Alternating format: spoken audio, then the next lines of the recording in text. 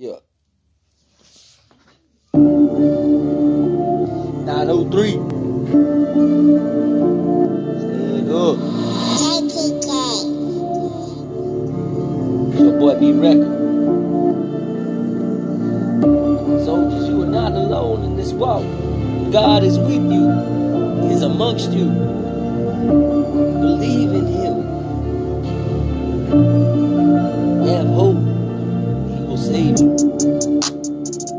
Thinking about a lot of things that I can't even change. Yeah, I've got my mind deranged. It's moving fast like a train. And I've been inside a bank, but I've been pulling these files. And I can't even understand why everybody turned their back on B-rek. And I still came through with a heart bigger than my chest. And I don't understand, but the end is gonna get vested. Cause God told me stop suppressing. So I'm gonna heal the old oppressed like Luke 4:18. It says preach to the gospel, I'm a preach, you see.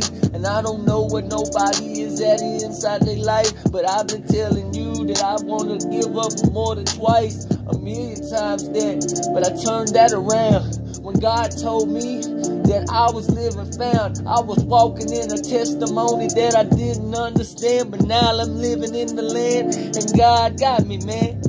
I seen his face, I pray every day. I telling God, please make a way, make a way.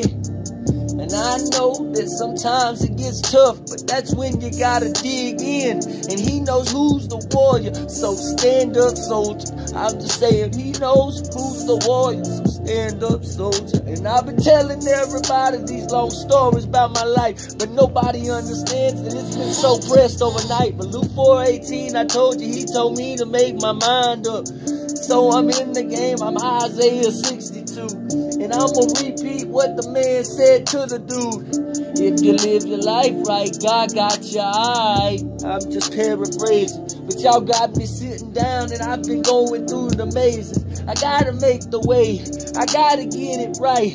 Because if I don't, then I might end my life. Yeah. Yeah.